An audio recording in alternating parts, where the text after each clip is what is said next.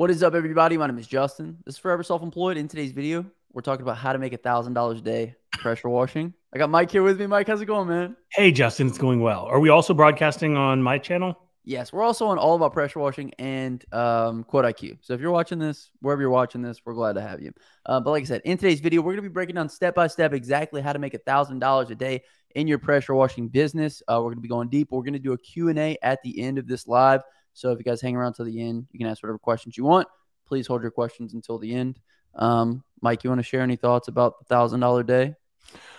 Yeah, absolutely. I think uh, you know people a lot of times when they are getting into any type of business, uh, there are goals, there are aspirations, and I think uh, you know we have to understand that there are baby steps and just because you decide you're going to go into business doesn't mean that the first day of business you're going to start making a thousand dollars a day. There are a lot of things that go into uh, getting to where you are able to start charging that much and and and making that much if not more right? We make way more than that every single day. And that's because we have spent a lot of time implementing the systems needed in order to achieve those goals. So we're going to talk about that today. We're going to talk about the ways that that uh, you know are going to help you get to the point where you're going to be making that much or more. Absolutely. Before we get into this one, as I mentioned, Q and A at the back end. Have your questions, put them in the chat. If they're good questions, I'm going to save them uh, for the end. But before we get into that, we're giving away two MacBooks to two premium and platinum subscribers of Quote IQ in less than a week. March 23rd, me and Mike are going to go live and we're going to pick these winners. Um, so if you haven't already, download Quote IQ to be the first link in the comment section and the description. And um, premium and platinum subscribers are entered to win. So if you need help keeping with customers, sending estimates, invoices, or collecting payments, you can do all that within the app for free. The premium subscription allows you a bunch of other features that you guys can try, as well as uh, you get access to the web version of um, Quote IQ. And if you guys want to check out the web version, check out myquoteiq.com. Dot com. Dot com. Okay, Man, sweet. we've got some before we even start. Like, I'm like the last couple days have been.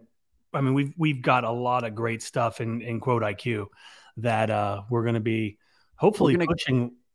We're going to go live next week and tell you guys all the new updates. I think like the last live we did, we went over everything that we had in there that was new, and then we have a whole new batch of newness, right, Mike? Oh, the newness is overwhelming.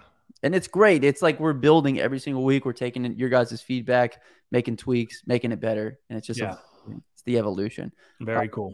You guys should do in your business. So with that being said, as I mentioned, Q&A, end of the end of the presentation, we're going to run through all the steps you guys need to take in order to make a $1,000 a day in your pressure washing business. First and foremost, Mike, let's talk about backwards engineering a $1,000 a day. I think too often people have a goal and they just start going after it. And they never really backwards engineer to figure out what they need to do in order to accomplish it. So if we were to backwards engineer a thousand dollar day, we could do a roof wash, one roof wash for a thousand dollars, two house washes for five hundred dollars each, or you could do four driveway cleanings for two fifty each. So kind of speak about in your business, Mike. I guess what is uh, normal, or how would you backwards engineer a thousand dollar day? We, well, we had a list. What was step one? Step one is to backwards engineer because everything else is going to fall in line with that. So, right. So I and I, you know, obviously backward engineering from a price standpoint is is is key because if you don't have, you know, a target in mind, then it's really hard to assess pricing based on what your capabilities are. You also have to understand that we're we've got a limited amount of time per day, right? There are X amount of working hours per day the homeowner doesn't want you, you know, at their property at 6 a.m. You're going to disturb them. You're going to disturb their neighbors. Uh, they probably don't want you there much after, you know, 5, 6 p.m. because they're done with their day. They want to get on. They don't want to be disturbed. So, like I said, you've got, uh, you know, a finite amount of time during the day, which you can accomplish what you need to accomplish. So you have to understand, and we're going to get into this, a lot of components that are going to allow you to determine the things that you need to do in order to achieve that monetary goal, whether it's $1,000 or it's $1,500 or it's $2,000 a day. It's really dependent on a lot of things. Your market is one thing. Uh, some people can get, you know, for, uh, you know, a 5,000 square foot house, maybe they're going to get 12, 1300 dollars a day. Um, or, uh, you know, somebody with that same uh, sized house can only get 350 or 400 dollars for that house. So there's a lot of components, there's a lot of factors that come into this. So we're going to talk about the things that you can do in your business that are going to help you understand how to get there. Okay, so the reason why we wanted to backwards engineer first, you guys, was for this particular reason. If you're able to visualize the fact that you only need one roof wash to make the thousand dollars, or it takes two house washes or four driveway cleanings, we can then factor that into our marketing. We can factor that into what equipment we need. We can factor that into how we're going to sell things. So the big the big idea here is to kind of visualize what that thousand dollar looks like first and foremost, and then let's work backwards to figure out what we need to do in order to make that a reality. So, step two is going to be to have the right equipment and um, to know what you're doing. So, i.e., efficiency. So, Mike, let's talk a little bit about equipment. Obviously, like if you didn't know that you need to do roof washes, you wouldn't know that you need to have a soft wash system, right?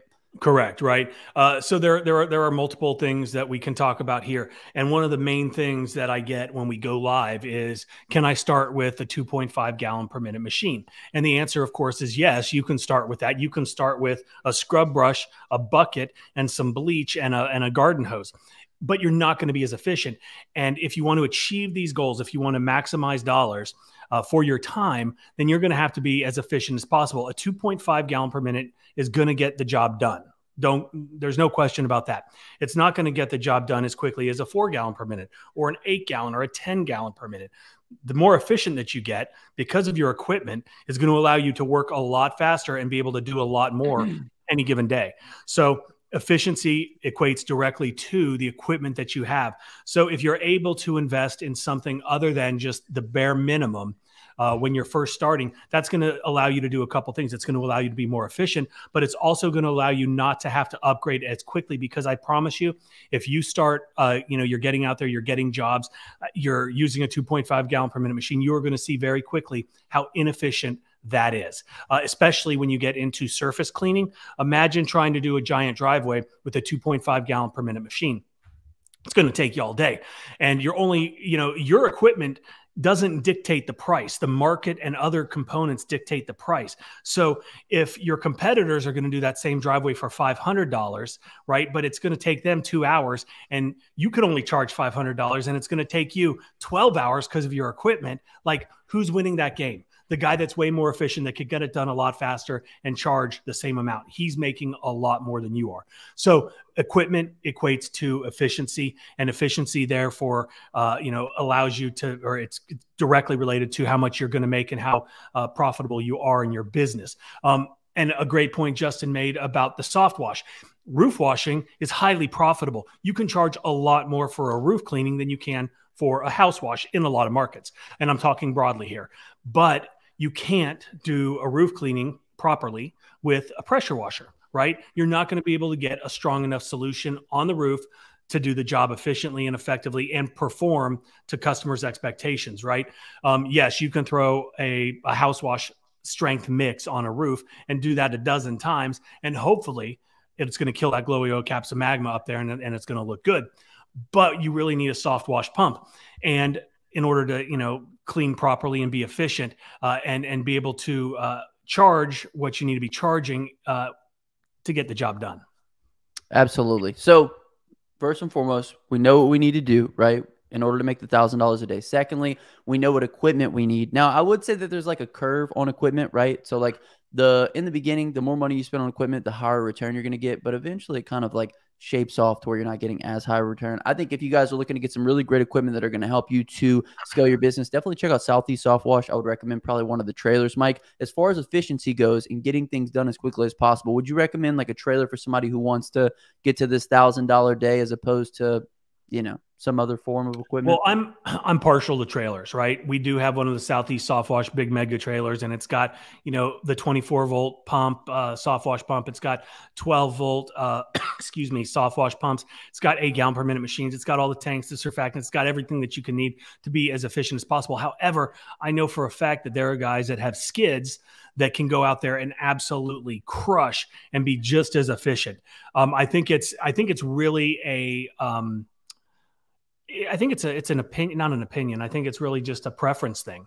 Like I prefer trucks and trailers. A lot of guys prefer the skids because it's a lot more contained. It's you know, I like to have a big water tank, so we're never having to wait for the water to fill up when we're doing uh, any kind of surface cleaning. So there are pros and cons to both. Uh, and again, I just think it's a personal preference, but you can't go wrong. But it all goes back to having good functional equipment that's purpose built uh, that allows you to function at a you know as, as as efficiently as possible. If you're you know dragging a, a pressure washer around a yard and you're fighting with hoses, you don't have hose reels. Uh, these are things that that can make you more efficient. And not everybody can afford that right away, uh, and that's why we want to reinvest back into our businesses. And we'll talk about that here in a second. Okay, perfect. So step two uh, was partially about equipment. The other thing was know what you're doing. Okay, so if we know that we need one roof wa- roof wash a day to make a thousand dollars, if you don't know how to clean a roof properly, you're not going to be able to do that, right? So you need the equipment in order to perform it, and then you need the know-how in order to do the job. If you guys want to check out how to wash, I'll leave it first thing in the comment section and the description. We go over the chemicals, how to use them, how to clean every surface on a residential job site, property protection, job walkthroughs. Uh, we talk through equipment, how to build it out, things of that nature. So if you really want to get uh, the full scope of everything that you need to do and how to clean every surface, definitely check out how to wash. Like I said, that'll be linked in the comment section and the description of this video.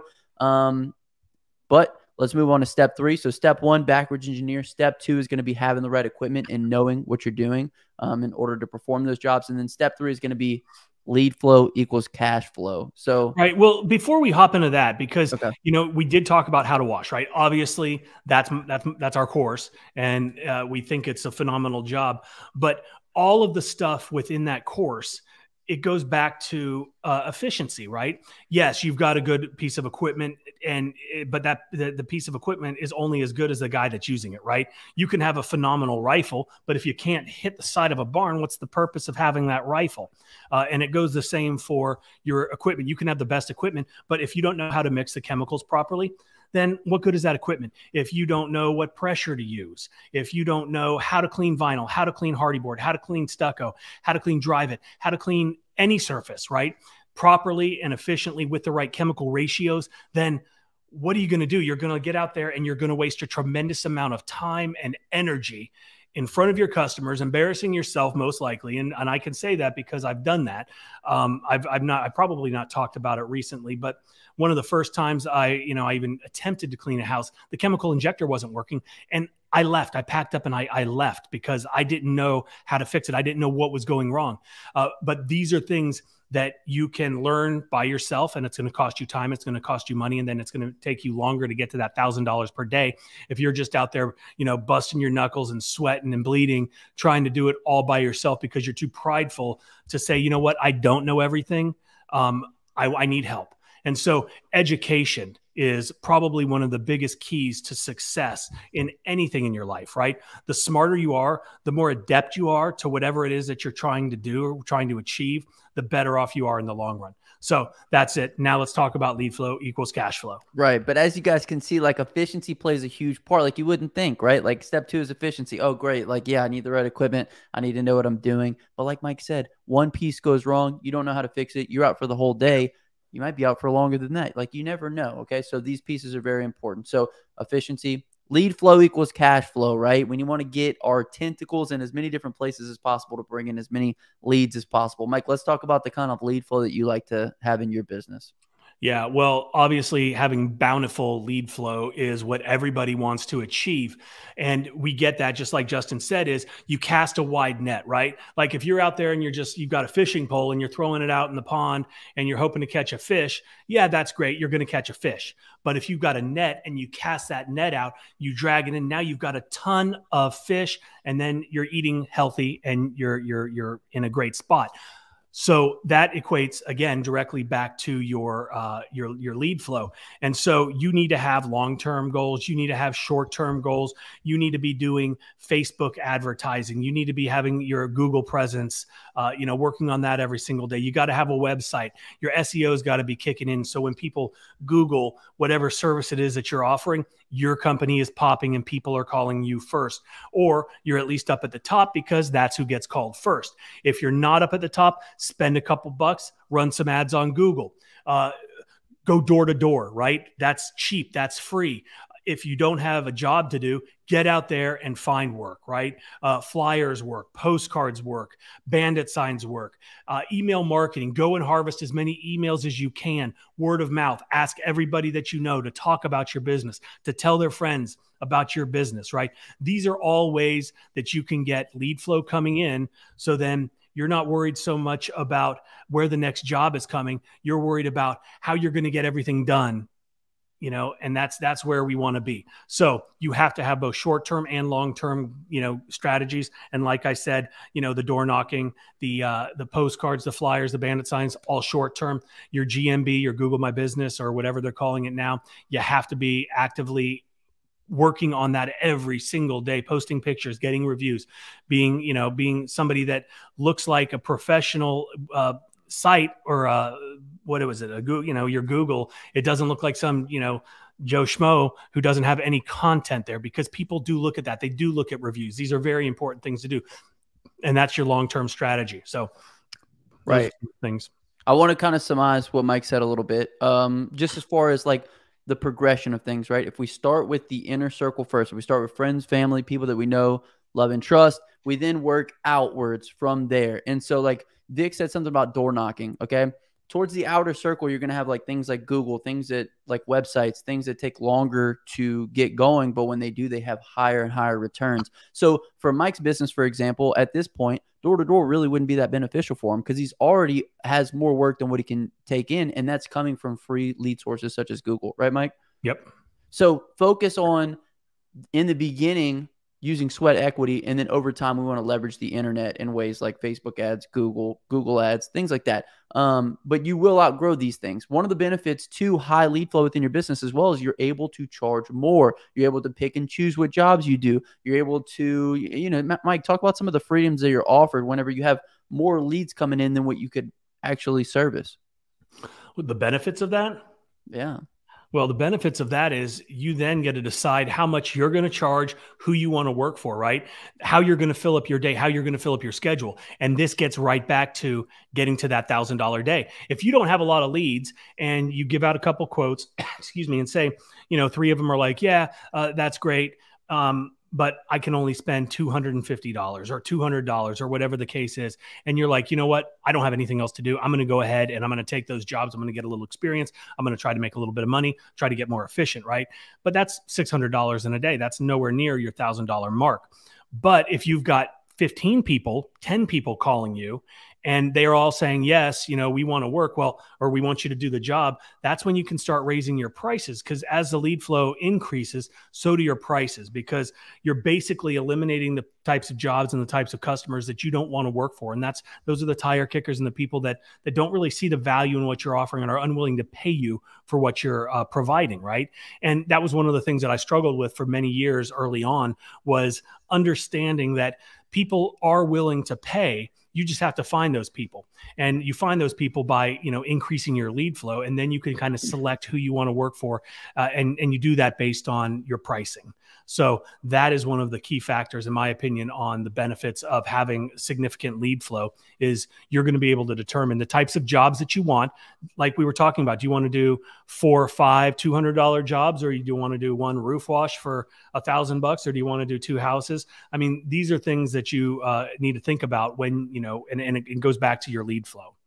I want to say this is an example because just this week we were reminded how beneficial it is to have lead flow. We had a customer that um, called in. Obviously, they were kind of price shopping, but they ended up going with us. And it wasn't a, a good situation for us when we pulled up to the house. They didn't have furniture moved. They had like, you know, um, clothes all draped along the fence line. And it was just like, we have three other jobs to do or two other jobs to do for this day. They were bigger jobs. Are we really going to put up with this? Are we really going to move this customer's furniture? Are we really going to communicate with them that we're going to have to have an upcharge to move this? And we just we didn't end up doing the job. We ended up leaving. The other thing is they needed it done this week, and because we were booked out, we were able to charge more money. Because if we have to inconvenience another client or move another client on the schedule, then we're gonna we're gonna charge more money for somebody that we have to do that for. So two different situations where we're able to charge more money because we're booked out already and we're able to pass up on jobs that we don't necessarily want because it doesn't, you know, work for our company as well.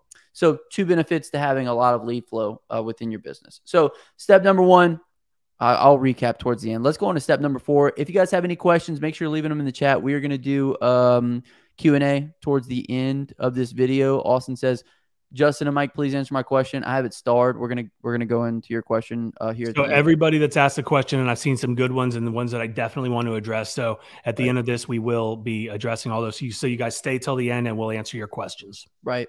Number three is lead flow equals cash flow. Number four is knowing your costs and charging accordingly. Okay. So we could probably address somebody's question with this because somebody was asking, do you think I should be um, charging market price, even though I'm 17 and don't look like I have a lot of experience. Okay. So for Francisco, he might not have the same cost as what Mike has, right? As well as he might not have the same experience that Mike has. It's probably better that Francisco charges a little bit less than what Mike does, honestly. But Mike, let's talk about knowing your costs and then charging accordingly. Right. Um, and I completely disagree with that uh, with Francisco. But um, you have to understand your costs. And I also want to say that when we say, you know, making a thousand dollars a day, um, there, there are two things to consider, and that's your profit and your gross revenue, right? Profit is everything after your costs. Uh, that is that is it, so. Then you have to ask yourself, okay, do I want to make a thousand dollars before, or you know, obviously you want to make a thousand dollars after, but so when we're talking about this, um, it doesn't really matter at this point whether it's a profit or it's um, your your gross revenue, because if you don't know your costs, then you have no idea what either of those things are going to be. So that's why it's so important that we understand our costs, right? And if you guys have watched my channel, you've watched Justin's channel, then you understand that. excuse me; these are such important things to understand. Your cost essentially is um, all of your overhead, right? So your overhead is your rent, your car payment, your truck payment, what's your chemical cost, your gas, uh, all of these things, uh, your your surface cleaner, uh, the tips that you're putting on, your couplings, everything that you, everything that it takes to run your business, your telephone, your website, all of your marketing, everything that you're spending in your business is overhead. And then you take your overhead, uh, and this is how you understand what you need to charge. You have to understand all of those things. So then you can determine what your average hourly rate is. Uh, and there's a calculation that you can do to, to figure all of that out. But everybody's business is different. And that's why it's so difficult for us to, to sit here and say, oh, yeah, you need to charge this or you need to charge that uh, for this or that, because we don't know what your overhead are. We don't know what your cost structure is in your business. And that's going to help determine what you charge and also you know how you can determine if you're profitable or not. If you're not covering your overhead then you're just breaking even and there's absolutely no reason to even be out working if you're not even making a profit right? You could be spending your time doing other things that are going to help generate business that are going to make you more efficient that are going to allow you to get out there and be profitable at one point. But we don't want to work for nothing. So you have to understand your cost structure. And if you're not keeping track of all of your data, all of your expenditures, then you're just kind of flying, you know, by the seat of your pants and you're not running a business. You're just out there kind of winging it. And that's not where you want to be. So uh, understanding your cost is the first step so I kind of went off on a tangent. If there. you guys need help keeping up with uh, your costs as well as profit and loss statements, all these kind of different things, check out Quote IQ. We built a cost calculator within there so that way you could literally have a list out of all your costs as well as calculate what your break even point per hour is. And then you can even enter in a profit margin above that and say, okay, I want to make 50%. You then it gives you an hourly rate price. So if you need help keeping up with costs, Check out the cost calculator within Quote IQ. If you need help, even knowing what the profit and loss statement is, keeping up with expenses, all these kind of things that Mike is talking about to legitim- legitimize your business. Otherwise, it's just a side hustle. It's just something you're doing on the side. It's a side gig. Definitely check out Quote IQ. Um, so Mike, okay, knowing your costs and charging accordingly, uh, incredibly beneficial. So I kind of want to get into this comment right now, though, with with regards to Francisco. Okay, so you got a guy that's 17 versus a guy who's been in business for longer than he's been alive. Okay, are these two companies do they need to charge the same amount? There are there are there are multiple schools of thought on this. Um, there is a market price, right? Like in in my market, you know, there's kind of a a, a, a cap on what you can charge, right? like people are people regardless of who they are they might say okay that sounds a little expensive i'm going to call somebody else because i think it's just highway robbery um, oh, but I want to say this, Mike, if I can. I want. I, I, I, thinking about this. I think the two customers are completely different. Okay. Customer that goes with Mike's company is searching on Google. They're ready to make a purchasing decision now. They want the cost, they want the price as quick as possible, and they just want to get the job done. Somebody that goes with Francisco may be more of, you know, somebody wants to give a young guy an opportunity. But his question was just because I'm 17 years old, right? I don't care how old you are. You could be a 50 year old man that's just starting out, right? Right. Francisco's question is about age. It's not about experience or anything else.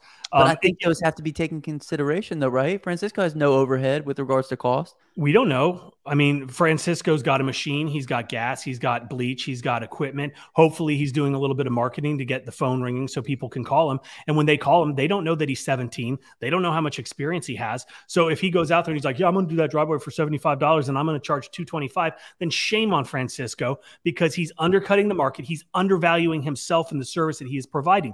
This is this is the thing that bothers me so much all the time when people talk about this. Is well, I'm just starting out. I'm going to charge less. No, because then that customer is grandfathered into these cheap ass prices that you don't want to stick with. I did that. I was charging $150 for a 2000 square foot house for many years. Oh yeah, just it's going to be 150 bucks. Now that's a $300 job every single day and we close them nonstop and it has nothing to do with me being old and me being in business. People just Google us, they find us, I give them a price. And that's Francisco, value yourself, understand your market. So figure out what your competitors are doing, uh, get a baseline for what to charge and don't undercut them just because of your are you going to do a good job? Does your age prevent you from doing a good job? Absolutely not. Um, does your uh, experience prevent you from providing a good service? Absolutely not. So i think don't ever let age or experience dictate pricing I will say one thing that can dictate Francisco's pricing. If he's new to the market and doesn't have a ton of customers, the more customers you have, the the higher you can charge. The yes. less customers have, the less you can charge because you don't want to lose out on those opportunities. So we have two two things that are kind of balancing here, right? Mike must charge higher because he has more, he has employees, he's got bigger equipment, he's got a lot more cost, but also Mike has a lot more lead flow than maybe Francisco has. And I guess we're making assumptions. All things equal, if Francisco has the same equipment and employees as Mike and he's getting the same lead flow, obviously he should have the same price. But right. I, I just the question, maybe it was the way that he worded it. Should I be charging market price? Absolutely. Charge a market price. Don't undercut the market. Because you know what's going to happen? If you start undercutting the market, you're not going to be in business very long. And I hate to say this and insult people, but most guys in this business aren't very smart. They're not, and they're not charging what they should or could charge. And that's why we see such churn in this market. And if you don't know what churn is, that means, oh, people are going out of business all the time because they're stupid, because they're not doing the right things. They're not listening to us. They're not doing their research. They're not charging accordingly. And when you don't charge accordingly, you go out of business. So don't be stupid. Be smart. Charge accordingly. Charge as much as you can possibly charge. You can always back down on your price. Hey, look, this, this is a pretty complex question, but step number four know your costs, charge accordingly. Okay. Step step number five is going to be selling. Become good at the selling process, looking for every opportunity to increase your increase your average ticket price, cross selling, upselling, and everything else in between. So we actually have a really good question that somebody and if you guys keep putting questions in the chat, we're going to do Q and A at the end of this. Um, how do you upsell stain removal while remote quoting, uh, and the customer's not home whenever you're washing? I mean, that's, that's a great question. Yeah. So this one kind of falls in line with cross selling, upselling, and looking for every opportunity to increase um, the average ticket price. So, Mike, right. And so, yeah. So, uh, stains are not something that, okay, stains are going to be a separate charge anyway, right? And I'm not talking organic stains. Organic stains, mold, mildew, um, magma on the roof, things of that nature are all included in our house wash, right?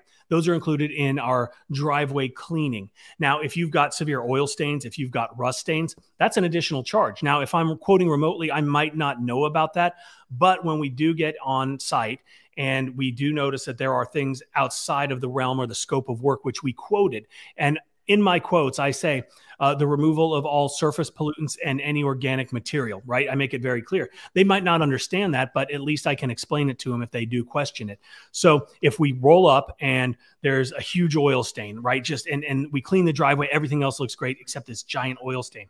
Well, that's I've already got their contact information, right? We've put it into our CRM. Hopefully you're using Quote IQ. So you can do a couple things. You can pull out your, you know, your pre-inspection form that you did, which is uh, you know obviously available in Quote IQ. You can uh, take pictures of the oil stains, the rust stains, and send it to the customer and say, hey, here's your pre inspection form we did you want us to take care of your oil stains or your rust stains while we're here? Uh, and if you if so it's going to cost x dollars to take care of that. Now the the most likely they're going to be like oh yeah absolutely please take care of that. Oh that you're not going to do that while you're there? It's not included? Well no it's you know obviously it's going to take a different set of chemicals. It takes a little bit longer. Uh, we didn't take that into account when we quoted. And so these are things this is just getting a little bit more comfortable with your selling uh, when you're out there talking to your customers with uh, you know upselling and cross selling various things. Uh, but please never throw stuff in for free. I mean, little stuff, yeah, I, am a, I'm a huge proponent of that, going a little bit extra. But when it comes to uh, extra services, do not do that for free. Don't just throw it in because they think that it should be. It shouldn't be. So that's that's how I would uh, deal with remote quoting. And you know, if the customer isn't home, text them, send them an email. Uh, just you know, it, it's super easy. We've got amazing technology at our fingertips that we can use to do this. And that's one of the benefits of the 28 point inspection within um, Quote currently. You get Mike's exact inspection form that he uses, all the same questions, everything. And as you are going through the uh, form or your technician is going through the form, you can look for those upsell opportunities. Send the customer the form. Hey, I just want to let you know of any pre existing damages at your property. We noticed XYZ exactly what Mike said. It's a great. And here are some pictures. We, you know, on that on that inspection form, it gives you the opportunity to take a picture with every point, as well as you know, at the end of you know the form, you can just add pictures of your upsells, send it on to the customer, and uh, increase that average ticket price.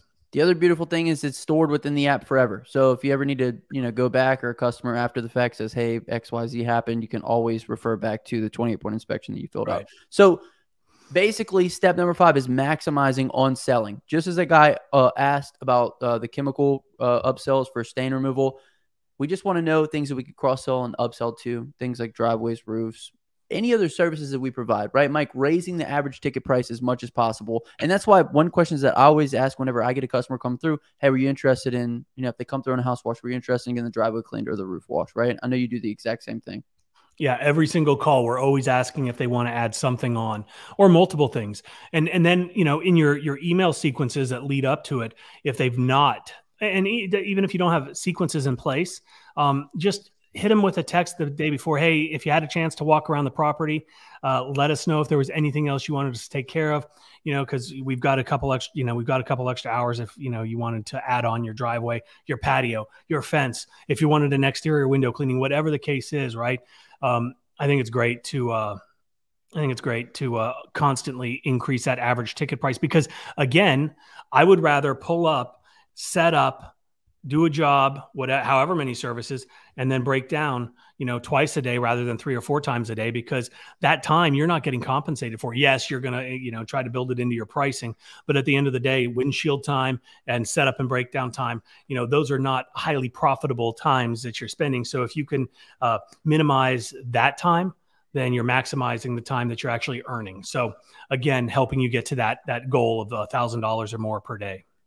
Exactly. And you're maximizing on every single customer that comes to the door. And ultimately, that's the most important because you have a customer acquisition cost, and the more money we can get on that average ticket price up, it's going to help us get to closer to that thousand dollar mark. And essentially, the goal is is what's the least amount of jobs we can do every day to get to that thousand dollar mark. So selling is an, an integral part. Let's get into step six, and that's going to be repetitions and systems to get better at everything. Okay, so one of the big things that I want to mention is a lot of guys come in and they say, "Hey, I got this huge lead. It's my first um, apartment complex or my first." Um, you know, what are those little mini mall things? Like, you know, they want me to clean the whole thing, yada, yada, yada. It's all about going out and doing a lot of these different quotes so that we can get comfortable with this quoting process. The selling process, the putting the quote together, the presenting your business. There's a there's a lot of repetition that needs to go into place for you to get good at these things so you can land these types of jobs. Not to mention going out and doing the job, you get the work experience. You could refer back to jobs that you've done previously. Um, so repetition and building systems to get better at everything is an integral part. Mike, what kind of uh, systems have you built into place to help you get to the thousand dollar a day mark? Well, we've got all kinds of systems in place, and and I think some of the key factors is like I was talking about earlier, is you've got limited amount of time during the day uh, to maximize how much you can make, right? Like like I said, we've got X amount of hours in a day, so we want to we want to be earning all of those uh, hours, and by minimizing the trivial tasks that are time consuming throughout the day, you know. Um, it, quoting is a prime example. If you can put in place something that allows you to quote remotely, get back to the customer almost instantly. It doesn't matter where you are. If you're in the truck, if you're on the job, you know, and you see you get a call come through, well, you need to be the first guy to respond to that call and get back to the customer because the guy that gets back to the customer first is usually the one that gets the job. And we all know that we all want that job. So we have to be as quick and efficient as possible uh, when we're returning customers' calls, getting back with quotes and estimates. So if you're able to quote remotely, that's a great way to, to you know, do that. Um, I don't know. Uh, what else, Justin? Well, just like with regards to, you can imagine somebody doing their first job versus somebody who's done a thousand, right? They are going to have so many more steps in place in order to um, do the job. They're going to have so many steps within with regards to the whole quoting process and everything else. So, with regards to repeti- repetition and building systems in place, you want to make sure that you're doing these things on a daily basis. You're being consistent with your marketing. You're being consistent with the way you're quoting people. You're you're studying the way that you're quoting and that you're talking to customers and and you want to develop the systems like Mike's mentioned, remote quoting. Uh, people in here ask about remote quoting. You want to get better at you know how you're quoting those jobs, making sure you're never like underbidding, better at cross selling. Essentially, step six is just doing all the steps every single day and being cognizant of the things you could do better in order to get a better return. So um, Mike, do you want to add anything onto this, or can I go through the? I want to go through everything. It's kind of like no. I, I mean, I just I think that you know the repetition and, and absolutely everything, including selling, right? Selling is an uncomfortable thing to a lot of people. And so repetition in selling is going to make you that much better, right? It's going to allow you to get more comfortable the more that you do it. It's just like out on the job. The more you do each individual task, you're going to get more efficient. You're going to get better at it. So every single day you have to be working on yourself, on your business, on your systems even little things like how efficiently you're rolling up your hoses, uh, how efficiently you're setting up, you're doing your 28 point inspection prior to the way you're interacting with your customers, not to get your time wasted, but still, you know, have that that personable uh, experience for them. Like there are all kinds of things uh, as your business grows, as you're in it longer, you're going to get so much better with each day. Uh, but it all comes from repetition and continually working on yourself your business and your systems. So let's let's do a recap, I guess. Absolutely. So recap. Step number one is going to be backwards engineer the thousand dollar day. We need to know exactly what we need to be doing every single day in order to achieve whatever it is that we're trying to accomplish. Step two is going to be have the right equipment and know what you're doing. Okay. So we know that one roof washer day is going to make us a thousand dollars. Obviously, we want to have the equipment in order to perform that service. And we want to know the processes that go along with being efficient at performing it. So that way it doesn't take us the whole day to perform the cleaning. Step number three is going to be be lead flow equals cash flow. The more lead flow we get into our business, um, the more ultimately money that we can make because we can do things like cross sell, upsell, we can charge more, we can pick who we work for, things of that nature. We want to start from the center, from our inner circle, and work our way out. Um, and we want to ultimately build those lead flows that are going to bring more consistent um, people into our business, like things like Google. Step four is going to be knowing your cost and charging accordingly. As we went through, um, these things can be different for different people. You might live in a different area. You might have different costs. So know your costs and charging charging accordingly. Also, if you don't know your costs, you don't know what you're making, you don't know what you're spending, you don't really have a business, you have a side hustle. So download Quote IQ and keep track of those things. Step five is going to be selling. We want to make sure that we're cross selling, upselling, and we want to take every single opportunity that we can in order to make the, mo- the most amount of money on every single customer. So that way, you know, we're doing less jobs to get to that thousand dollars. And then and last. Ahead, let, let, me break in on the marketing piece. Yep. One of the things that you know we talk about how to wash, we talk about the inner circle, we talk about quote IQ. One thing that we very seldom talk about, and and I think it's a disservice to the folks that are watching, is we have a place called the resource page, right? And we call it the resource page because it is a phenomenal resource for guys that are out there that need help, right? They they they know that they don't know everything, and so this is a place where you can go and and just it's called the resource page. It's pwcourse.com. excuse me. And uh, at pwcourse.com, you have every single one of our training courses, right? Everything, and, and it gives a you know just a breakdown on on everything that you're going to get, like how to wash. It's over six hours long. It covers everything from equipment to the chemicals, right? Everything. But how to get more customers? That's where kind of where I was going here. Um, that's our marketing course, and this is taking everything that I've done over the past 21 years, uh, and and thrown out all the stuff that didn't work. And trust me, there was a lot of stuff that I did wrong. Uh, and giving you guys the things that actually move the needle in your business that are going to allow you to maximize every aspect of your marketing so you can start getting that lead flow. And you heard us talk about it before. Lead flow equals cash flow. This is 399 bucks. You can use promo code uh, 50 free, get $50 off. And you're going to get everything that works for generating business in a service business. This isn't just for pressure washing, it's for anything. But we've got all kinds of things like the ad strategy, local domination, um, how to build a soft wash system. People are asking all the time, how do I do this? How do I do that? Well, Cody Yarborough from Southeast Soft Wash put together this course and he walks you through the plumbing, the electrical side, uh, everything that you need to know in order to properly build a professional um, soft wash skid, uh, the solar panel, how to quote, how to scale the next level, all kinds of things. And if you go down further, Justin, we've got all kinds of other things. Someone was asking about a customer contract. Yes, we've got a customer contract. One of our attorneys uh, put it together, and it you know it costs like seven eight hundred dollars to have that done, but you can get it for like next to nothing. We've got before and after pictures, roof washing explainer videos. We've got all kinds of stuff. And am I selling you right now? Absolutely, I'm selling you. I want you to go to pwcourse.com. I want you to look at this stuff. I want you to buy this stuff. And if you don't like that I'm selling you, then unsubscribe. Don't watch my channel. Justin, I'm not going to tell them to unsubscribe from you, but uh, if you're not selling in your business, then you're wrong. And if I'm not selling in my business, I'm wrong. So if you don't like what I'm doing, then you're doing something wrong because you should be selling, you should be cross selling, you should be upselling. And that's how you get to a $1,000 a day. Boom. Okay, sweet. Let's finish the recap. Step number six is going to be repetition and uh, putting in the systems in place to get better at everything. So, like I said, the guy who does the first job versus the guy who does his thousand, thousandth job, the guy who quotes his first job versus the guy who quotes a thousand jobs, it's a completely uh, different game. So, a lot of different steps you guys can take to get to a thousand dollars. I think we provided a bunch of value. Let's go through some questions because there was a bunch of questions uh, on this video. If you guys have any questions, leave them in the comment section. We're gonna try to get to as many as we can. Um, let's see what we got. Okay, is this the same guy? I think it is. Austin Holt, who, who is very adamant that we answer his question. I'm 17 and starting a pressure washing business. I've done about five places, but wondering if I should go door to door or what to get more customers. Sure. Yes, go door to door. Go to door to door. Door to door is a great place to start. So many ways that you can get your business out in front of more people. Austin, I just did a I just did a um a business launch, if you will, for my brother, and uh, I posted from my account to Facebook and let everybody know that he had just started his business. He was doing a, a, deal for his first couple customers that he got.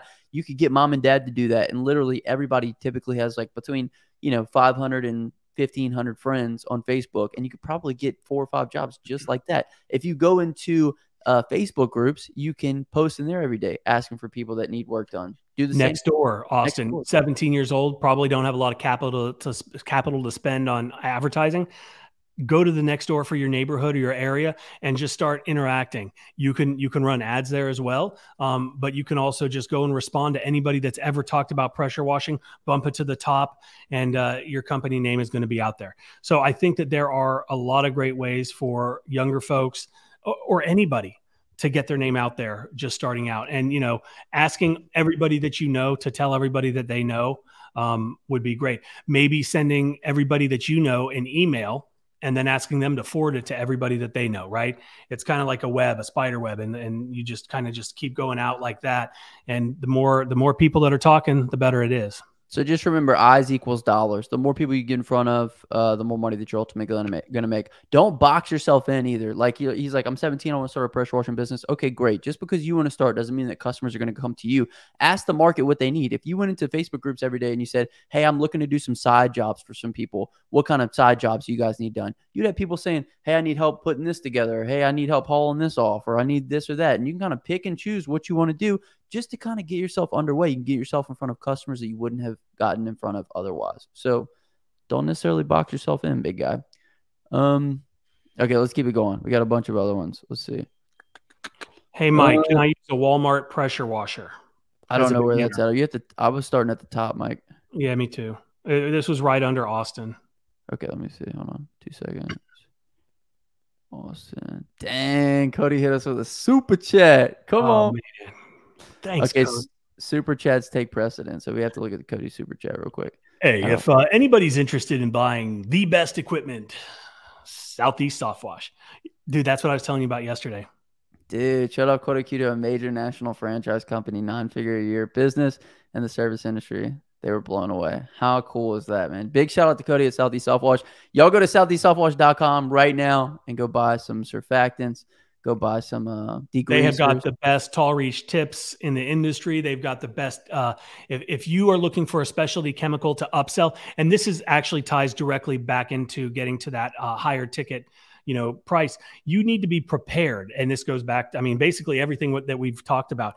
You need to know how to use these chemicals. Cody goes over this and how to wash uh, but you need to have the right chemicals uh, in order to you know remove efflorescence remove grease oil and you know grease stains, red clay. Uh, what else? There's all kinds of different oh. products that they've got over there. Can you see uh, this right here, Mike? Look at this. Yeah, if, if, if, you guys go to southeastsoftwash.com, you can go hover over chemicals.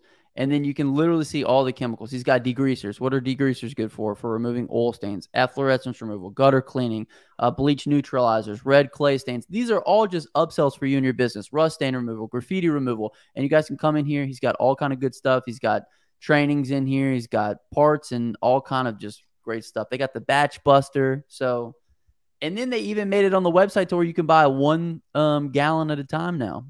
Yep. Or you can get, you know, four different uh, things and they stick it in one box and they ship it to you. Now, also, you know, one of the things that I hear guys talk about all the time and and people in this industry are notoriously cheap, right? Trying to find the easiest way out. Oh, I'm just going to use some Dawn detergent. I'm just going to use some some dishwasher soap. Okay, that's cool. And if that was the right way to do it, then everybody everybody would be doing it. It doesn't work. It's not as good. Uh, these things are designed specifically uh, for us so we can make more money. And it's just like when people complain about a 12 volt pump that goes out after three or four months. Okay, how much did that pump make you? It made you tens of thousands of dollars if you're doing it right. So replacing a $120 pump every couple months is a penny in the bucket, right? And so don't come to me and say, "Oh, their their quit their their uh, detergents are so expensive." Well, they're not because you get a gallon, you dilute it, and then you go and you make 10x what you spent, right? It's all about a return on your investment, just like with your marketing dollars. Invest in yourself, invest in the right equipment, invest in the right tools, invest in the right detergents so you can go out there and be the most efficient that you can possibly be and maximize your dollars. And you charge accordingly. Boom. Thank you, Cody. We appreciate the super chat. Okay, let me come. You said it was under Austin's comment, Mike? yeah hey Mike, okay, I got it here. Hey Mike, can I use a Walmart power washer as a beginner? Right. You can use, like I've said before, you can use anything as a beginner. Um, and you know, we're, we're, whether you get it at Walmart or Home Depot or Lowe's, one of the things that you need to really remember is that what you're buying at the big box stores and what you're buying at Walmart, that is a homeowner's product, right? That is not a professional piece of equipment that is intended to be used every single day, five days a week it's intended to be used once or twice, maybe three times a year. It is not going to last. But yes, you can start with it, but just be prepared. It's not going to be as efficient and it's probably going to shit out on you pretty soon.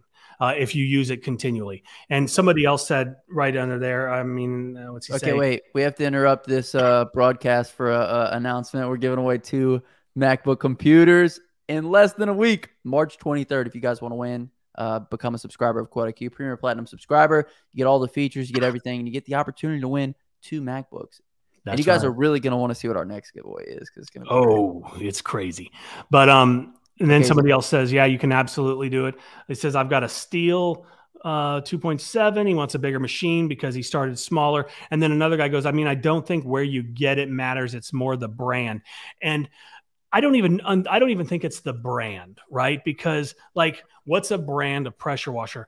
I, I would be I would venture like I know Southeast Soft Wash. I know like Pressure Pros. Uh, they've got Southeast has got the Kraken pressure washer. We've got a couple of those. Um, but everybody uses the same pumps. They use the same engines, and it's just uh, they're just components that are being assembled. So get quality stuff. Like if you go to Harbor Freight and buy a Harbor Freight um, or a you know like a Northern Tool pressure washer that's got like a Chinese or a Korean motor and some off-brand pump, you're gonna have issues. And when things do go wrong, who's going to support you on that? Where are you going to get a Chinese pump replacement? You're not. Uh, so I would say look at you know the engine brand and then the pump brand, not necessarily who's assembling it. And but you do want to have a reputable assembler as well. Beautiful. But get started with whatever you got. That was the big takeaway there. Um, I don't even know how to say this guy's name. He says, "Hey fellas, I'm on the verge of." jumping in here in California. I'm laying down the groundwork, researching, selling things for funding, watching everything power wash. Gotta say, gotta stay away from the naysayers. Absolutely. Yeah. Appreciate that. One. Good luck to you. Question. Um, okay, let's keep it moving. Let me see. Oh, here's I think it's a good one. Um I don't maybe mention is bundle your service. One maybe mention is bundle your service. and that's upselling, cross selling. He had said that prior to us talking about that. I saw that pop up, and and right. and he's this is a great uh, point. You always want to add additional services. You always want to bundle services, whether that's pre quote where you're giving customers the options, Justin, or you're providing packages. Right, um, right, right, right, right. And those are some things. If you tune in next week for Quote IQ you'll learn what we're doing next. So I just gave you guys a hint of two things that are coming in the next update. But yes, packages, giving customers options, allowing them to select, but also doing it on site is going to make your business a lot more profitable. The other thing is, one other thing to add on to this is low ticket services will get your foot in the door with customers and you can leverage them into higher tickets as well. So if you're having trouble landing the thousand dollar roof wash, bring it down a little bit. You know what I'm saying? Market some driveway cleanings, market some house washes. If you're still having problems, there might be another low ticket service that you can offer to even get your foot in the door as well. Gutter cleaning. Gutter uh, cleaning. Right. I know a lot of guys will offer gutter cleaning. Justin, I think you talked about that at some point. I did. Uh, I offered can cleaning for a little while. I also uh, did landscaping for a while because I could literally throw a rock and hit about five people that needed their beds redone. So just leverage what you got. At, at the, in the beginning, for me, landscaping jobs were so much easier to land than pressure washing jobs. I enjoyed pressure washing more, but I was getting landscaping jobs easier. So I was doing the landscaping jobs, and while I was there, I would say, "Hey, we also offer X, Y, Z services if you guys need anything." And I was able to turn some of those customers into pressure washing customers. But the thing is, though, the biggest thing for you guys, especially beginners, keep in mind what the market wants. Just because you want to start a pressure washing business and you want to offer pressure washing within your area doesn't necessarily mean that there's a huge demand. Doesn't necessarily mean that people are going to jump all over it in the beginning. So instead, ask, what, what, what do you guys need? Anything you need, let me know, and I'll take care of it. And and obviously, don't be a you know person who does everything, but you see what I'm saying. Get the jobs under your belt in the beginning. This is the one I want you to ask about. Do you have every client sign off on anything, any kind of terms and conditions before the start of a pressure washing job? Yeah, absolutely. We have, uh, like I'd said on the resource page, we've got the uh, customer contract, which is essentially just that. It's a customer contract. It basically outlines everything that we expect of them, and it protects us from any kind of you know potential issues down the road. And we do we provide that to every single customer when we provide the estimate uh, within Quote IQ we're lot, we're able to uh, drop that in uh, in our settings section, and then it pre-populates every estimate with your customer contract. We also have a little section if you don't have a contract. Uh, if you haven't got it from us yet on you know on the resource page, uh, you there's a section where you can put in terms and conditions of your own as well. But I would definitely recommend having something that has been prepared by an attorney, so you know that you're covered and it's not just uh, you know just a waste of paper and time and space. Right. And the other thing we set up with ThinkQuote IQ is whenever a customer accepts a job, they must write their name out completely. So that way um, in order to accept it fully and in order for you to schedule it. So uh, it's another little thing that we put in there as well. But yes, we have contracts in place. We got terms and conditions that make it super easy within Quote IQ. It just puts it right into the estimate. It's right on there. They must sign their name in order to um, accept the job. And um, it's easy peasy lemon squeezy. We like to make it so that it's there, but it's not like in their face. We're not popping the contract right up in front of them and, and flashing the pages. It's kind of like whenever Apple puts in front of you, like, do you agree to these terms and conditions? And you check the box and you roll with it, you know? Um, if we don't have steady clients, the trailer won't make us money. Uh, if we don't have steady clients, then buying a ten thousand dollars setup is not worth it to start out. So, um, what do you think, Mike? Well, I think I think Sean has got uh, a, a, valid point to some degree. Um, if you are in it to win it, if you are going to make the investment in yourself, if you are serious about what you're doing, then yes, uh, and you have the funds to go ahead and invest in in the right equipment, then absolutely. You might not have the lead flow immediately, but when you know you and hopefully you're you've been working on that as well. Uh, it, I would rather have the right equipment at the beginning than having to try to play catch up. So if you have the funds and the ability to do it and you trust in yourself, you trust in the fact that you are going to commit to this, you're going to put in the work. Uh, and in this, like I've said a million times, there is nothing easy about this. There are no magic bullets. We are not selling uh, the idea that you're just going to start and you are going to um, all of a sudden be making as much money as you know somebody that's been in it longer that's just not how it happens unless you take the things that you learn you implement those things and you execute then then it's it's a no-brainer then absolutely spend $20,000 because you're going to recoup that investment Yep. And then different strokes for different folks, right? Like you might not have as much money as somebody else to invest in the beginning. Well, I think this comment was back when we were talking about people purchasing the trailer. We were talking about max efficiency here. So you can think a guy who's carrying around a two and a half gallon a minute unit around the yard from Home Depot versus somebody who pulls up with a $10,000 trailer. How many more jobs a day are you going to be able to get accomplished? How much faster are you going to be able to get to that $1,000 a day? That was really the messaging behind like get the trailer if you're looking to maximize efficiency. Right. Um, we'll keep it pushing though. Let's see what else we got on here. My parents are making me get a job or get clients to pressure wash. It's tough, man. We'll just head up, keep hustling, consistency and repetition. Is it feasible to run a lawn care and pressure washing business with equal flow? I don't know what equal flow means, but um, I, I think I think he understands. I understand is it possible? Of course it's possible but then like are you the pressure washing guy or are you the lawn care guy? Are you going to set aside three days a week to do lawn care and you know two or three days a week to do pressure washing? You don't want to overpromise to either segment and then under deliver because then you lose credibility. So i think it's very important that you find your focus. Um, but like myself, I had a lawn care business and I had a pressure washing business, both very successful. But I had employees that were out there doing it. So they were two separate entities. But if you're an owner operator, I think it's going to be a little bit more difficult to do both, right? Yeah, just like a lawn care guy, um, he can do tree removal, he can do snow removal, he can do uh, bed installations and lighting and irrigation. But is that gonna is that gonna interrupt his his main source of income? And and upset those customers.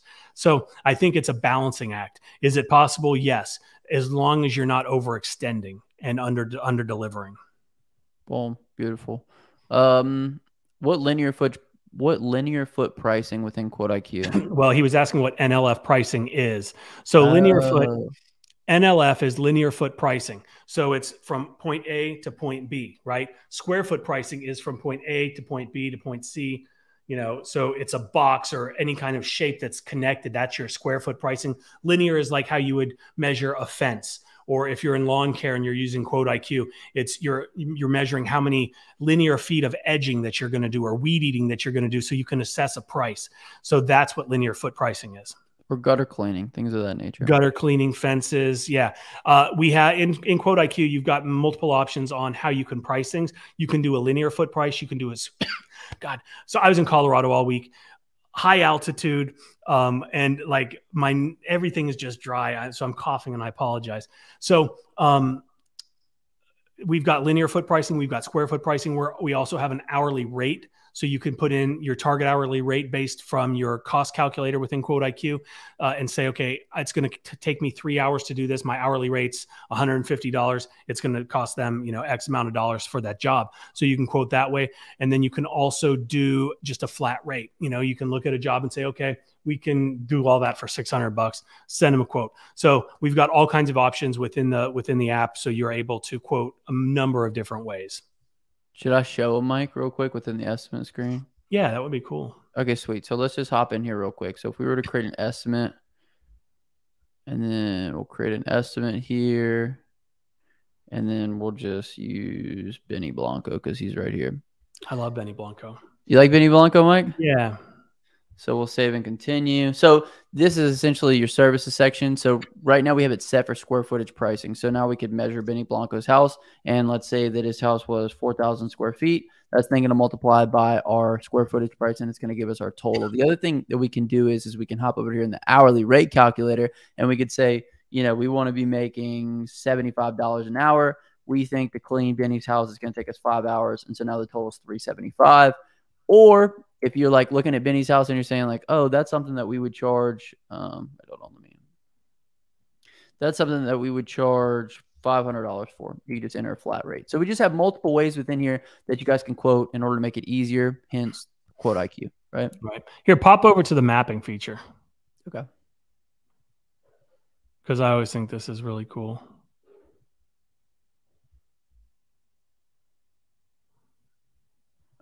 So within the app, you're able to go in and uh, it's just kind of it's it's it's like uh, Google Maps, but better actually. It's more up to date. We've got better satellites up in the uh, in the uh, in the atmosphere. The sky, than, yeah.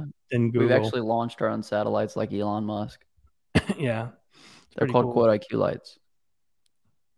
So you can go in and you can measure all kinds of different things. Whether it's you know if you're in the lawn care world, you can measure grass, um, beds. What are you doing? Oh, I'm just measuring. Oh, I'm just measuring this building. Keep going, Mike. Yeah, but no. So it's just uh, it's just a great tool. So this is going to be able to give you your your square footage. Excuse me. But uh, I just wanted to kind of show. And I'm just kind of playing around here with this, but um, if you were taking your time and kind of dial it in, I like it better on the phone, honestly. Um, I do too. Well, we're just used to it on the phone. I'm just gonna close this out so you guys can see it real quick. Boop. Oh, that did not close it. Okay, we'll come back. If you can erase points too, if you don't. Here, kill that comment too because it, we can't see the square footage and all that. Oh, is it in the way? Okay, hold on. Yeah. So you guys can see the perimeters here. I'm probably not close enough to the point. Yeah, I'm not. Okay, hold on. Oh my gosh. Okay, I'm having an issue here. I can't close this out. Um, Okay, so technically you would close this out and you'd be able to get a, the exact square footage price. For some reason, I can't though. So we'll have the developer take a look. And I this. apologize, guys. Next time I'll do it because I'm better. Yeah, Mike is better at it than I am. So, but you want it, you got to hit it right on the end of it. Let's try this one. Yeah, I don't know why. Okay, so yeah, we're gonna fix that. Um. Anyway, you can measure things with it. It's really good. Uh, typically. I'm really glad that we showed everybody this. this was just a bad example. it's a horrible okay. example. Let's keep going through the uh, the questions. Any tips on mixing bleach on surfactant on surfaces, surfactants and bleach on roofs? Just a bit on the house. What in the world? Clean yes, area. get how to wash. If you're asking these questions and you're trying to start a business and form an LLC, then you definitely want to get how to wash. It, it goes over every chemical ratio, how to get to those chemical ratios for every surface on a residential property. And then there's also a section about an LLC because I put a little business section in there as well. Um, and so, but your question is how easily it is to make an LLC. It's it's unbelievably easy. You get online and you can go to your uh, Secretary of State and uh, start there. Start there. The other thing is if you need help with like what your mixes are, you can come in here to the mix calculator. We put this in here so that way if you know what your um, concentration is, so you guys can see common ratio percentages here at the bottom. So vinyl is one to two percent. So if we said that we want like a one and a half percent mix and we were dealing with 12% SH and we had a five gallon bucket, it'll then tell us exactly um, what we need as far as 4.4 gallons of water to 0.6 gallons of SH. So if you need help dialing in your formulas, if you're doing some batch mixing, um, the app has that built into it. And we also put a downstream in there too, so you're easily able to uh, figure out what your injector is throwing up on the side of a house. oh, I think this is a good one. I did a driveway that I charged 185 for, yet the customer then says afterward that I said it was going to be $100 not 185. She settled in the middle and gave me $125. How should I deal with customers like this? Well, you should get Quote IQ and send a formal estimate that they have to agree upon and check off. And then you've got a document that is legally binding. And if she doesn't want to pay you, then you can threaten a contractor's lien based on the document uh, that you have saved in Quote IQ, and you're all set. But that sucks, man. I hate that for you. Absolutely. No, so how? Uh, I mean, we're we're we don't have a two way call here with with old Austin, but if um, you know, like, did you text her? Like, have it written somewhere, whether it's an email or a text. Even if you give her a verbal one, just say, "Hey, I'm also going to shoot you an email with the estimate." This is just one of those live and learn situations. But dude, Austin, you're 17, but Quote IQ is free, so go use it, and you can also, you know, that's it's just a no brainer. What about invoices when starting out? Would you recommend go with the CRM immediately or print simple paper copies to start? Quote IQ is free. For Quote IQ invoice for free. And you send estimates and you collect payments and you can you enter all of your customer contact information. You can send estimates, you can send invoices, and you can collect payments. But then you've got uh, the, a digital format that they can print if they want. Don't waste your time printing stuff. Nobody wants printed papers. Uh, just say, hey, I'm going to send you an email. I'm going to text you your invoice and then they can they can they can get it. And if you, you know, I don't know who William is or anything about that, but like if you've got a checking account, which I hope most everybody does, and uh, I would say um, I would say uh, connect everything that way you can get paid right there by your customer. Okay, let's see. I'm trying to find if we have any other good comments before we wrap. Any advice on obtaining my first client and how much for the course? Well, we've got a bunch of different courses. How to wash is three ninety nine. How to get customers is three ninety nine. We've got a bunch of them. You can check them out at pwcourse.com. But I'll give you guys a promo code. Use fifty free, and uh, that'll take fifty dollars off anything, any of the courses there. So you guys can definitely use that. Uh, advice for obtaining your first client. I mean, we've kind of gone over that a bunch yeah. in just all of our marketing. So implement the marketing strategies, door to door, you know, long term and short term strategies, uh, asking friends and family, all, all of those things, leveraging those relationships to to generate those first couple customers, and door to door, like go door to door. My senior estimator would like to know if Quote IQ will implement a form to build packages. Yes, we have packages and options coming probably within the next few days the next few days. It should very, really very be cool. like, yeah, it should be very soon. And we'll go live and we'll show you guys what it looks like. Um, is Ohio a good region to start a pressure washing business? I, I, we have a lot of people from Ohio in the inner circle when they do. I've never been well. to Ohio before. I heard it's cold there. Yeah. Uh, okay, let's see. Let's see if we got anything else. Restaurant work is hard, but it pays. Where can I find dilution ratios for different services? Quote IQ. Quote IQ. We just showed you the form. If you get a wait, let me share it one time.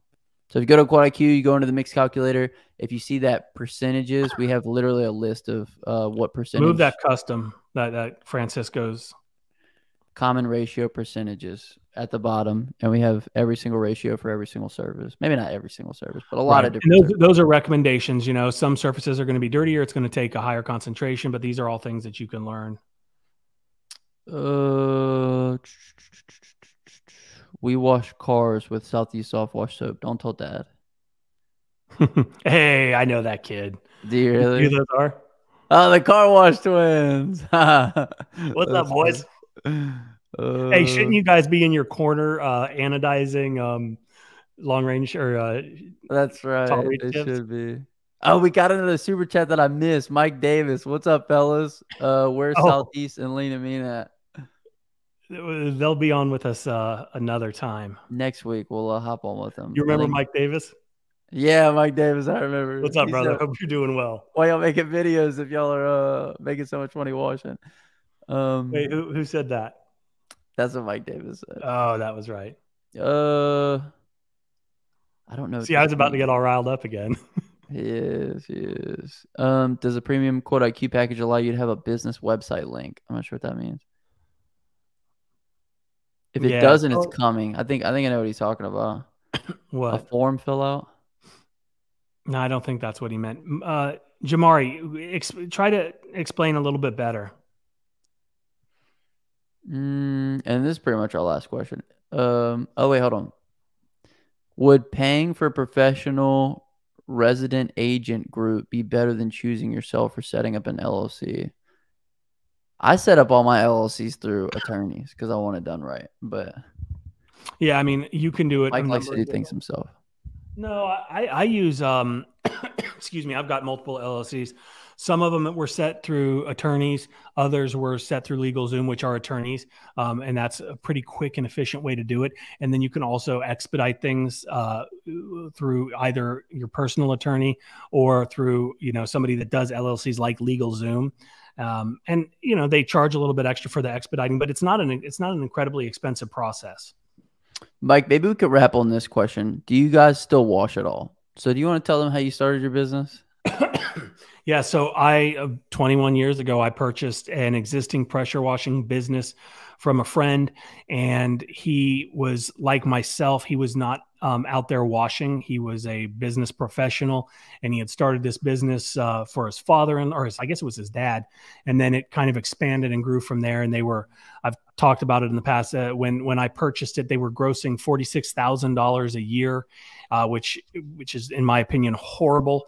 Uh, but I saw the huge potential of uh, this type of business uh, because everywhere I go, I look around and I think to myself, everything's dirty, and every single human that I see is a potential customer. And because of that, I thought this was a no brainer. Um, and so I bought a business. I had employees, uh, and I have never washed. I know how to wash. I can go out there and I can train with um, every single one of my employees ever. Uh, have I never washed? No. When you know when when it is needed, I will be out there and I will you know uh, get bleach in my eyes and and sweat and bleed with the guys. Uh, but I don't wash on a daily basis. I am a business owner, and that's what I do. Um, but with all that being said, when you've been doing it this long, when you've built every single piece of equipment, with the exception of our new Southeast soft wash trailer, um, I mean, I've, I've, built everything, I've wired everything, I've plumbed everything since day one. Uh, the equipment that came with the business was was not good, and uh, I saw that efficiency was so important, and that's when I started that. So I have, I am the prime example of who I don't want you guys to be. I did it the hard way. I wanted to learn everything myself. I didn't look for help from anybody. While I was doing this, there was a few internet forums that were out there, mostly pretty negative places. Um, that you know, th- there was definitely some helpful helpful information uh, that can be found out there. There's a lot more now these days. A lot more people that are willing to share and not just kind of like keep everything so close to the vest because they think they've got some kind of secrets. There are no secrets. Um, so I don't know where I was going with that. Yeah, I don't wash, never have, never will. But excellent. Um, last question: How do you wash a house? I'm curious. That's a this great is. Jorge. this is Jorge. All right, sweet. Uh, Todd Catch out. We'll give one more shout out. Great video, gentlemen. I can't wait uh, to get my equipment from Southeast Soft Wash and get to work. Dude, I thought Todd got his. I thought Todd was getting his equipment already. Todd went to uh, WashCon. yeah, good. To, oh, look, there's Dewey. Dude, God, there was a bunch of stuff that we. A lot of Did you want to answer some more questions, Mike? Uh, it's 111. We'll go for like three more minutes. Let me see if I can find someone. Go wash something so you know how m- much it takes. That's a good. Sean is just a negative guy. Sean is probably one of the guys that is like, I'll never pay anybody to learn anything. What's and Sean? and th- go wash something so you know how much it takes. How many gallons of chems you use and how much they can cost per gallon? What the fuck kind of question is that? Like a guy like this just is is just a negative human. Um, Uh, here's a go. Oh, five hundred dollars in less than four hours today. I can't wait to hit that thousand dollars a day mark. T Pain. Uh, is there an industry standard in regards to the deposit amount I should have clients pay to book a job? As a contractor, I would get 30% up front for material costs. Is that where I should be? Now, in my opinion, and, and in my business, residential wise, we have never asked for a deposit ever. I think I think it looks desperate. I think it looks like you should like a, a, business a business that is a legitimate business doesn't need a deposit for you know a $500 job or even a $1000 job or a $2000 job right like they're they're really the minimal the costs are minimal uh, you've got some bleach you've got some gas you've got your labor i would never pay a deposit for a service just, i just wouldn't now if you were going to put in a pool then yeah, I'm going to pay you. If you're going to install an HVAC system, yeah, I'll give you a deposit, right? I understand that.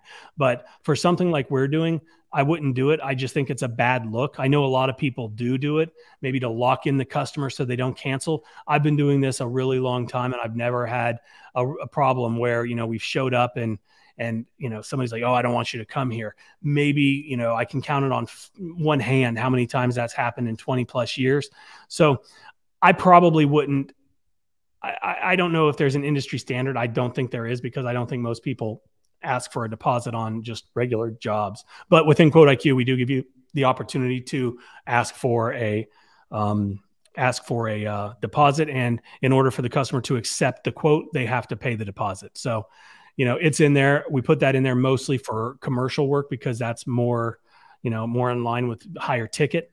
But and I mean, Mike, you've done some massive jobs. Like you've done some like hundred thousand dollar jobs before. Like there was no deposit required for a job like that, right? No, I'm. But if it's not a lot of material cost though either, so right. If you're just starting out and you somehow land a thirty thousand dollar job or something like that, right, and you know that you're going to be allocating a tremendous amount of time to that job. Time is the most valuable thing that we have, right? So, in my opinion, if you've got say a job that's going to take you seven days or 15 days whatever the case is and you know you're going to allocate all resources to that job and you're not going to be able to do any other jobs that probably will pay you a lot quicker right? Then ask for a deposit. Get a 20% a 25% a 30% deposit whatever you can get excuse me and then that way you're covering all of all of those uh, you know missed opportunities for the quick turnaround payments right? And that way you're not you're not waiting for that check. And on a job that big it's probably going to be 30 days out at the minimum. And so if you're a small business you're just starting out you probably don't have the cash flow to get you from point A to 14 days later where you've got no income coming in. So then a deposit I think is a great thing, but that's not going to happen on residential jobs. You're not going to have a seven day or a 14 day residential job that I can think of. Absolutely. Uh, I want to answer this one. Does Quote IQ allow you to upload your contract? Yes, it does. If you come into the settings tab in the sidebar, um, you can click on estimate terms and conditions, and then I have multiple in here just because I play around with it. But then you can select add and then you can upload your document or you can do a custom terms and conditions. So if you didn't have, um, you know, like Aaron's contract, for instance, or the one that we provide on the resource page, you could name it whatever you want, you know, lawn care, and then you could just type in whatever you want here as the body of it. And then once you save it within the estimating process, there's a place that you can input it. Should we just show them real quick, Mike? Mm-hmm. Okay, let's just show you. I'm going to open up an old estimate. So let's open this one up. So let's go back to Benny Blanco. Let's say we were doing a house wash for Benny for 550. We'll click next. This is going to allow us to edit it.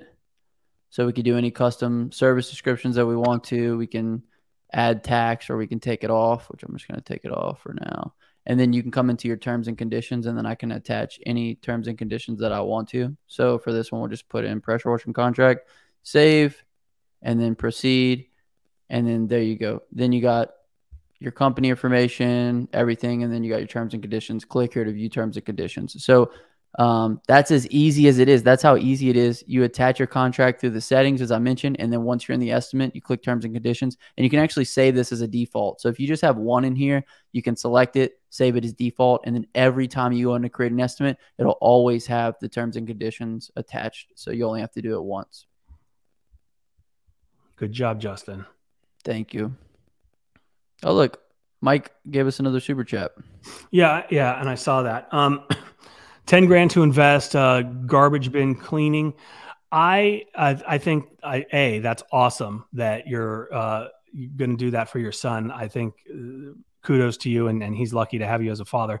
Um, garbage bin cleaning can be very very uh, profitable i know that there have been um, you know a, a, an influx of of people getting into that and the equipment that's that's out there is is pretty impressive. I don't know how much it costs. I've personally not looked into it, but I think 10 grand to get started uh, is, you know, Justin, you can probably talk a little bit more intelligently on this because you have done some bin cleaning in the past. But like right now, they've got like I just saw a trailer the other day that had a piece of equipment that grabs like two cans and then lifts it up, puts it behind, rinses everything out, and you know excuse me but um the cool thing about a bin cleaning business is i would advise this like if you wanted to i mean a lot of people will have water reclamation um issues with it but you could have a sludge sucker and fix that. I'm actually going to do a live with cody about water reclamation but you get a two and a half gallon a minute unit pressure washer you could operate out of the back of your truck. All you got to do is connect the hose to the house and then you spray down whatever cans they have rinse them out easy peasy lemon squeezy and you might be out a few hundred bucks rather than anything near 10 grand. Um, right. The other thing is like Mike Turman, he's one of our uh, big earners in the inner circle. I mean, he's got a huge business up in New Jersey. Um, and he does bin cleaning and he's got these relationships with like waste management where you know they basically say okay this is the route that we're doing today and then he rolls up right behind them and washes the bins after they've been emptied. So it's super efficient. He just follows the route and he you know basically following that money. Um, it's it's a good business. Sweet. Let's wrap on that one you guys. Mike what's the word of the day? Um just however you're feeling. It could be lincoln because your shirt has abe lincoln. And you want to show me your shirt real quick yeah, yeah. This is my son gave this to me. Ford's Theater, one star, awful. Would not recommend. How funny is that? yeah, that that's kind of a little dad joke. You know, I I'm a, I kind of like funny stuff. If you guys want to check out Quote IQ, it'll be linked in the comment section description of this video. We're giving away two MacBooks March 23rd. So if you want to win one of two MacBooks, become a premium platinum subscriber. Take advantage of all the uh, tools that we have within there. Mike, word of the day. Lincoln you guys made this part in the video, comment down below Lincoln, and I'll hashtag you a real one. Um, Todd Kachal said, follow that money. Absolutely, baby. My name is Justin. This is Forever Self Employed. And until next time, hustle hard and get that money, baby. Peace.